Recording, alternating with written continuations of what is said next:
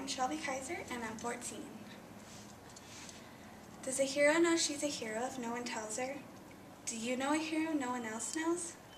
A hero doesn't have to save a busload of school kids from certain disaster or score the winning point on the big game.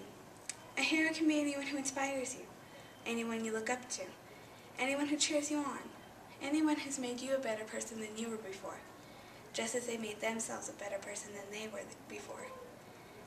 Do you know hero? Tell her. Then tell everyone. I know, Mom, I know, but what if they're right?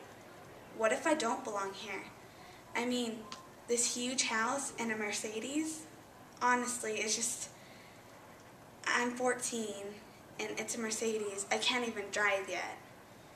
I mean, everything's nice and beautiful, but it's not me. None of this is.